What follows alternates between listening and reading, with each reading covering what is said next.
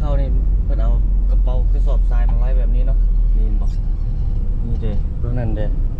น้ำขึ้นมาเพื่อนก็เอาอัดอัดประตูนี่เลยเพื่อให้น้ำไหลเข้าไปในเดินเนาะเพราะว่าเขตสนามบินสากลวัดไตมันจะมีอ่ากำแพงอ้อมเนาะมีกำแพงอ้อมกำแพงก็จะเป็นสามารถกันน้ำได้อีกเนาะเพราะว่ามันก็มี กำแพงเก่าอ้อมสนามบินนะสามารถกันน้ำได้ทุกคนภายน้ำคือเบื้องนี้เข้าไปนี่ก็จะมีคือกันอ้อมขอบเขตสนามบินจะมีกำแพงเนาะถ้ามันน้ำขึ้นมาเทมันก็สามารถอ่ากันดำได้ในระดับในระดับหนึ่งเนาะก็บอกได้ว่าสี่ร้อยเปอร์เซ็นต์หรอกแปดสิบเปอร์เซ็นต์นั้นสามารถกันได้เนาะนี่เขายังออกจากสนามบินไป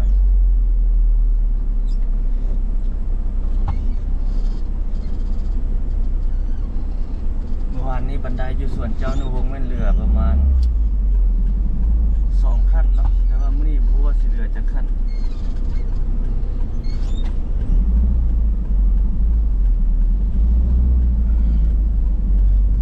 ตอนแรกผู้ใดเขียนส่วนเจ้าเขาจึงจะไปถ่ายให้ทุกท่านได้เบิ่งเนาะ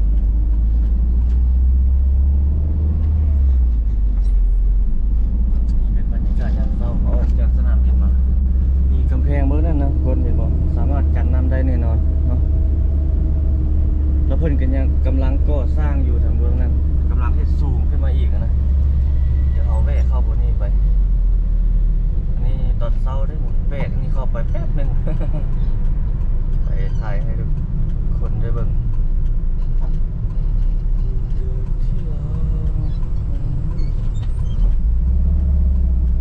มื้อนี้บ่รู้ว่ามันสิขึ้นหรือสิหลุดเนาะนี่เข้าไปนี่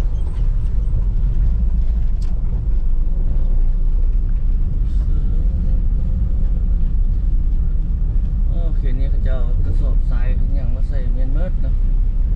นี่บอกเยี่ยมตันตันไว้หน้าบ้านหน้าเงิน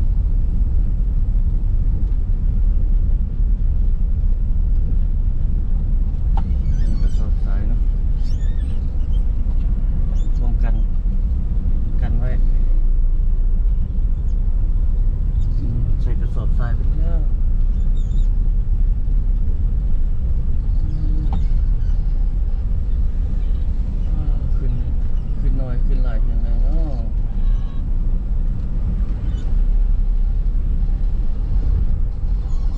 จับเอออืม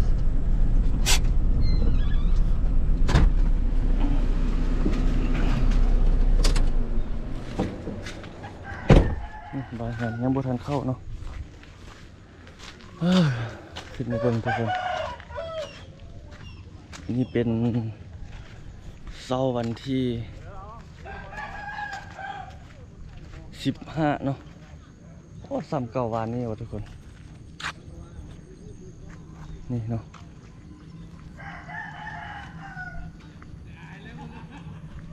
ลงแล้วจะขึ้น เดี๋ยวมาเบิ่งบนหญ้านี่ เอ๊ะเอ๊ะเอ๊ะ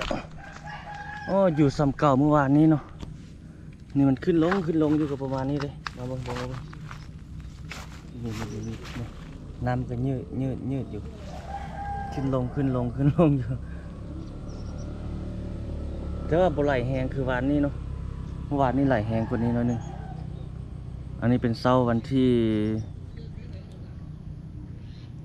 สิบห้าสองเมตรวันนี้ทุกคนเขตนี้ยัง ตัวนี้มันสูงเนาะบางจุดก็ยังเหลือประมาณ คือเมื่อวานนี้อยู่แค่อยู่เขตโรงแรมแลนด์มาร์กนั่นเหลือประมาณเมตรห้าเนาะตัวนี้เหลือสองเมตรตัวนี้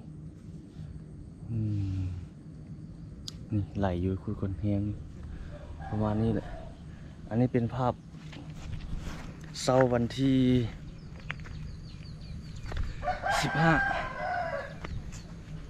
ตอนนี้ประมาณจะโมงหกโมงสิบสามนาทีเนาะขึ้นประมาณนี้ จุดนั้นเพิ่นดูดน้ำออกมาเมื่อวานนี้เนาะ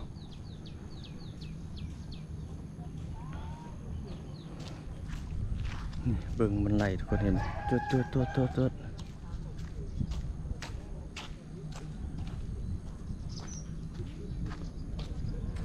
ฝั่งไทยมันเข้าทะลักเข้าเมื่อวานนี้แล้วเนาะล้นตลิ่งเข้าบางจุดฝั่งหนองคายฮะฝั่งลาวของยังประมาณนี้ เบื้องเบื้องแล้วเขตเทศบาลเมืองเวียงจันทน์เหลือประมาณนี้เนาะ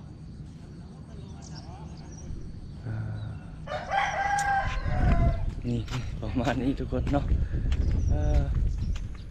โอ้ทางกลางคุณไหลแฮมเลยยืดยืดเห็นบ่ทุกคนสังเกตเบิ่งเงินขี้เหงื่อบ่มันหยังไหลมาตามน้ำ ก็ถือว่ายังโบ่หลายปานใดเนาะมันก็สิค่อยๆ ลดลงเนาะถ้าบ่มีเครื่องทางคือทางจีนเพิ่นนั่นมานี่ประมาณนี้และอืม